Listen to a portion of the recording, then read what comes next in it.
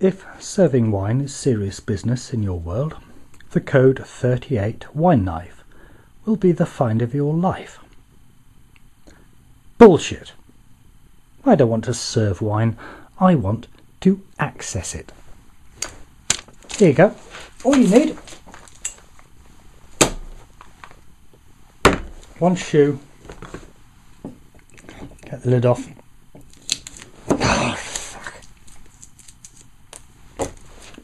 Use a pencil or a pen. Push the cork in.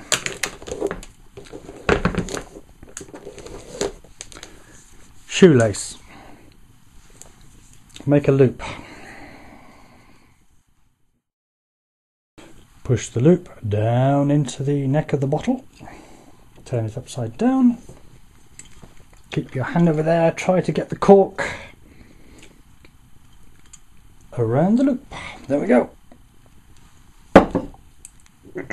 And one, two, three. Job done.